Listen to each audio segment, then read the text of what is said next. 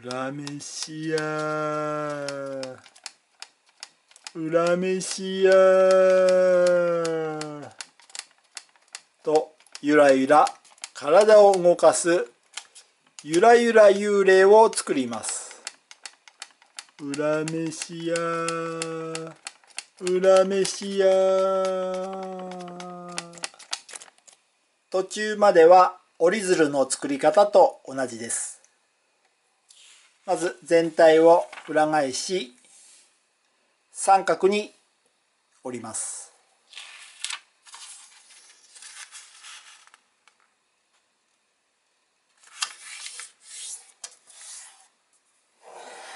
しっかりと折り筋をつけ今度はこのように回しまた半分に折ります。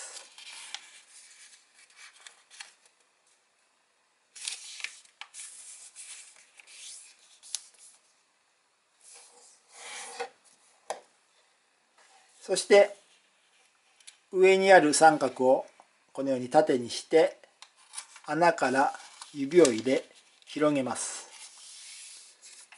そして四角に潰します。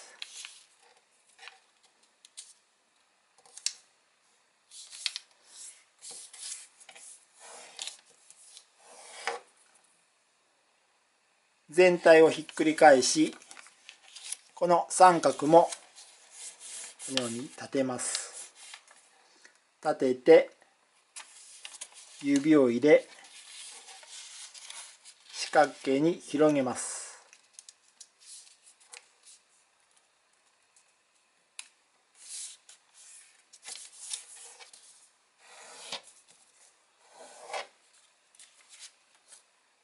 この開いている部分を右側にしておきます。続いてこの部分が真ん中のラインに合うようにこのように斜めに折ります。そしてしっかりと折り筋をつけます。この奥の右側の部分も真ん中に合わせて斜めに折ります。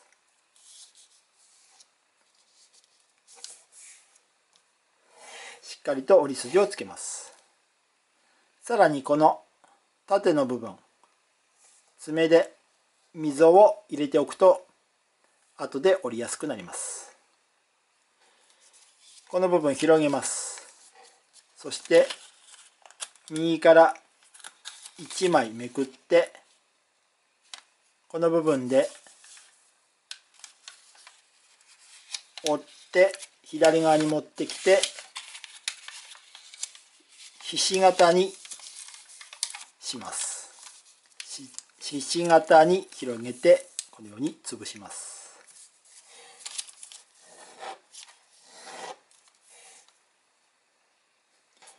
ひっくり返してこちらの四角も同様にまずこの部分を真ん中に合わせて斜めに折ります。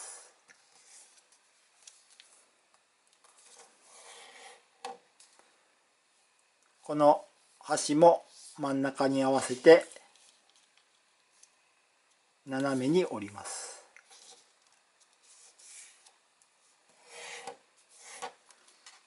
そしてこの縦の部分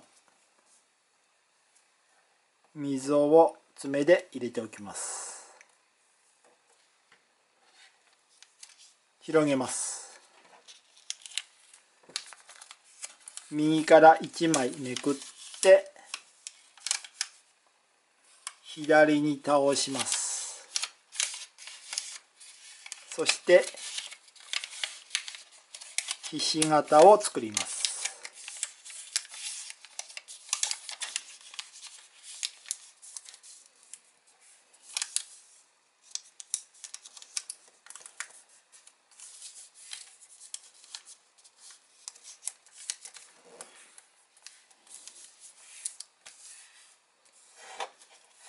ここまでは折り鶴の作り方と同じです。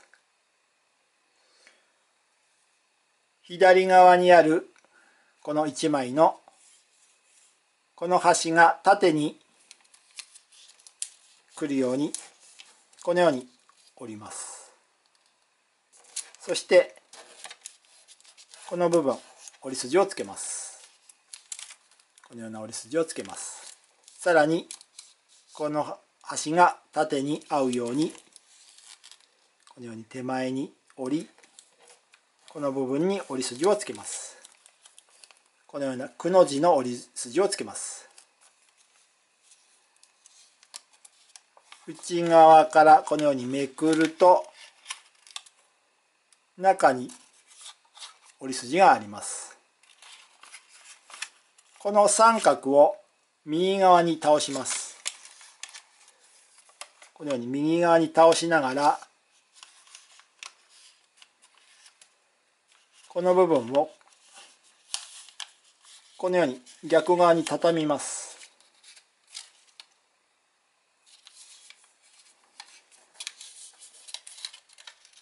このように白い部分が出るようにします。そしてこの部分このように覆いかぶせます。反対側もこの根元の部分をこのように覆いかぶせます。そしてこのように白い二等辺三角形を出します。この部分でお化けの顔を作ります。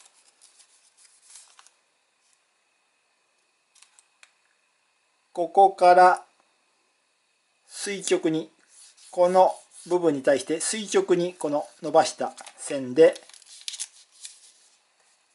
このように折ります。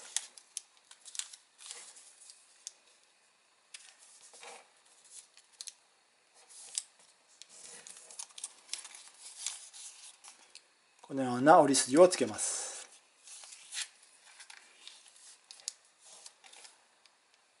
そうしてこの部分指を入れ広げ四角く潰します。さらにこの角を反対側にこのように折ります。折ってさらに少し23ミリ23ミリでこのように折り返します。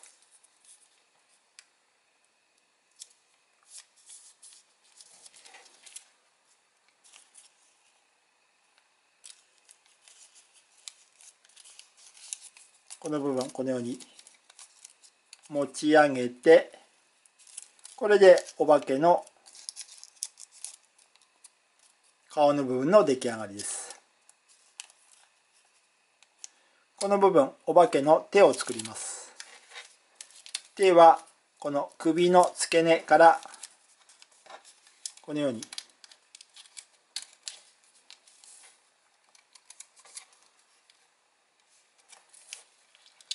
直角に持ち上げ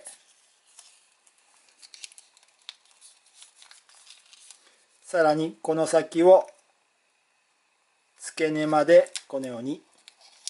折ります。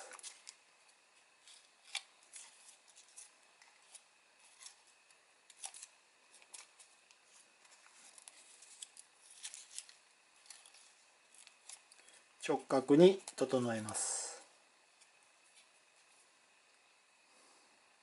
そしてこの後ろ側にある長い三角を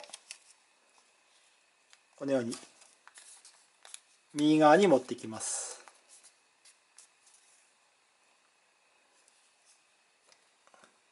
これでゆらゆら幽霊の完成です。腕の部分を横に引っ張ればゆらゆらゆらゆらと体を動かします。是非作ってみてください。裏飯屋。裏飯屋。